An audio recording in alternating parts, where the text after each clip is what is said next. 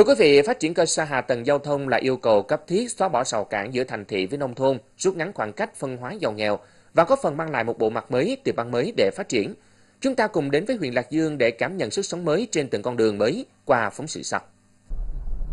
Được xem như là con đường chiến lược, năm 2016, tuyến đường DH3 dài hơn 22 km, có điểm xuất phát từ thị trấn Lạc Dương nối liền với tỉnh lộ 27C và các xã Đà Sa, Đà Nhiêm, Đà Chay đã tạo sức bật mới cho kinh tế xã hội Lạc Dương phát triển, đồng thời trở thành con đường du lịch biển núi đầy kỳ thú, được khám phá núi Lang Biang huyền thoại, rút ngắn khoảng lưu thông so với trước đây phải qua phố phường Đà Lạt. Hồi xưa là đi vất vả lắm, không phải như bây giờ. Bây giờ nhà nước quan tâm làm đường rất là đẹp, bà con đi lại làm ăn ờ, dễ dàng và thuận lợi hơn. Còn đây, con đường Lan Biang có chiều dài hơn 5 km với tổng kinh phí đầu tư trên 100 tỷ đồng mới hoàn thành đầu năm 2017 đã mở ra một đô thị căng hồng sức sống cho thị trấn Lạc Dương. Tuy nhiên, góp sức để thực hiện công trình, chính sức dân của bà con người Kinh và đồng bào dân tộc Cờ Ho hai bên đường đã tự nguyện hiến hơn 16.000 m2 đất và cây trồng cùng với nhà nước làm đường. Sau khi nghe được cái chủ trương của nhà nước, gia đình tôi hiến đất để làm đường thì tôi cảm thấy rằng là nó rất là đúng đắn. Tại vì à, làm đường thứ nhất là đường là nó rộng rãi, giảm tai nạn giao thông. Thứ hai nữa là đường xá đi lại sạch sẽ, rồi cảnh quan đường phố làng xóm nó sẽ đẹp hơn. Tôi đã thành lập các cái tổ giám sát phân đúng con người có chuyên ngành chuyên môn của, của, của lĩnh vực đấy và có chứng chỉ theo quy định của nhà nước và tổ đã được giám sát thường xuyên à, giám sát viên được thường xuyên và ra xử lý những các vấn đề trên thực tiễn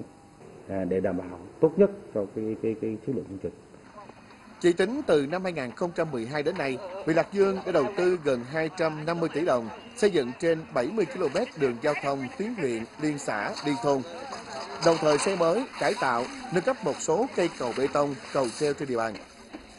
Việc phát triển kiên cố giao thông đã tạo điều kiện cho nhân dân đi lại, vận chuyển hàng hóa, góp phần đảm bảo hoàn thành tiêu chí giao thông nông thôn trong lộ trình xây dựng nông thôn mới của Lạc Dương. Về kinh tế xã hội thì phải động tác động rất là lớn. Cái vai trò người đứng đầu cực kỳ quan trọng. Cái thứ nhất là là chúng ta phải sâu sát với công việc và trách nhiệm để chúng ta à, trước hết là cái công tác tuyên truyền vận động để người dân hiểu được cái vấn đề đây là cái vấn đề nhiệm vụ chung của toàn đảng toàn dân cái thứ hai là phải lưu ý đến cái lợi ích đặc biệt là lợi ích của người người dân. Để làm sao để người dân vừa vừa vừa thực hiện cái chung nhưng mà người ta cũng có cái thực hiện cái cái khắc, khắc phục cái khó khăn của bản thân từng gia đình một. Và đặc biệt là cái trách nhiệm của người ờ, người đứng đầu để mà sao giải thích người dân hiểu được à, để thực hiện cái chương trình à, phát triển cái, cái hạ tầng của của địa phương là một trong những vấn đề then chốt. Những con đường hoàn thành đã mở ra sức sống mới, niềm tin mới gắn kết sự phát triển giữa thành thị và nông thôn. Đồng thời, đây cũng là kết quả khẳng định tinh thần phát huy dân chủ, đồng lòng và sự vào cuộc đồng bộ của các ủy chính quyền. Qua đó tạo ra thế và lực mạnh mẽ, thức dậy tiềm năng đưa Lạc Dương vững bước trên con đường đổi mới.